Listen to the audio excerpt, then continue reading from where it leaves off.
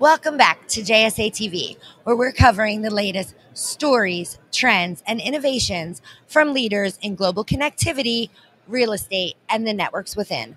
I'm Buffy Harakitis of JSA, and joining me today is Alexander Moskotin. He is the co founder of Afina DMP, and a, they are a telecom leader reimagining the future of AI in the telecom industry. Alexander, welcome. Yeah, hi, everyone. Thank you for having me. Yes, it's our pleasure. Um, it's been great here in National Harbor so far. We are at day three of ITW 2024. So, why don't you tell us a little bit more about what's been your favorite part about the conference so far? Uh, of course, I'm very glad to be here, and of course, I'm glad to have conversation with you, Buffy. Thank you very much. So, for me, the most favorite part of this conference was to meet like-minded people, to learn some new trends, and uh, of course, to tell about our project. Well, when it comes to your project, I mean, tell us a little bit more about Afina's innovative AI powered platform and how it helps operators maximize revenue.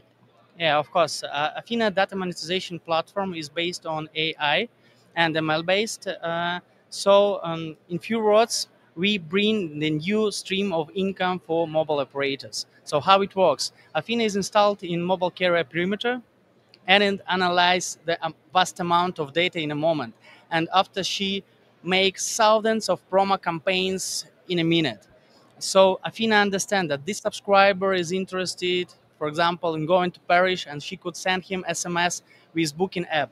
That subscriber is interested in a credit card she could call him by IVR and offer the best credit card in the market, and so on so on. So Afina bring like a part of digital market to a telecom market. Uh, and of course, we understand that mobile operators, they want to have some budgets from uh, digital market, and we know how to bring it, we know how to open this door. And I love that Afina is a she. Yeah. yes, and she is so powerful. Uh, why don't you tell us a little bit more about some of the challenges Afina is seeing across the telecom industry? Yes, very good question. Uh, of course, uh, I can tell you about some our challenges. So the first challenge is the increasing of competition. So this telecom markets are very huge markets and very interesting market for a vast amount of different companies and projects. So for us, it's we had to be seen in this ocean of different projects. The second challenge, I think, it is uh, like regulations.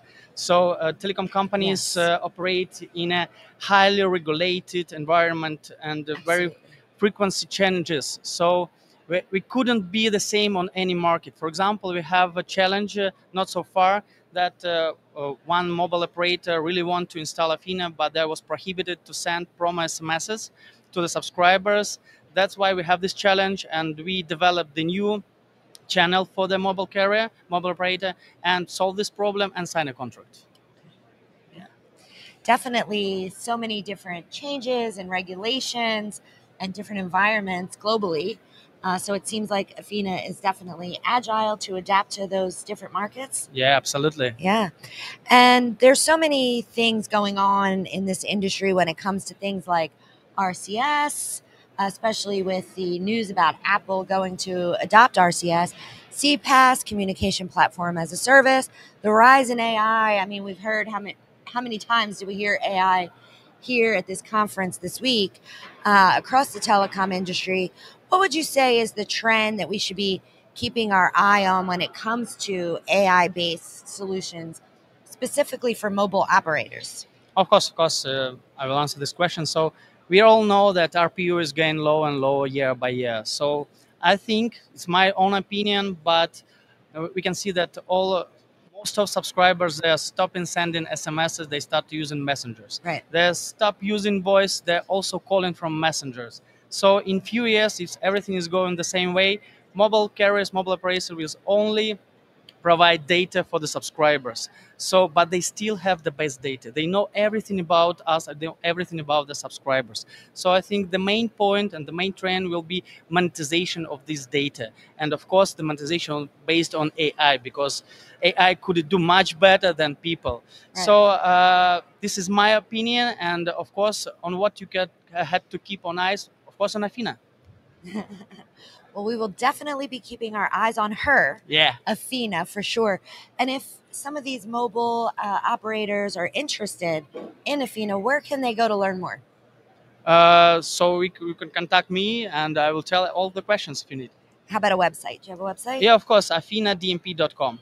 AthenaDMP.com. Alexander, it's been such a pleasure to have you here live on JSA TV from ITW 2024. Thank you so much for giving us some great insights about Afina and the industry as a whole. We do appreciate it. Thank you very much and best wishes to your subscribers. Yes, and to our subscribers and viewers tuning in, thank you so much for joining us. Stay curious, stay connected, and happy networking. Bye bye.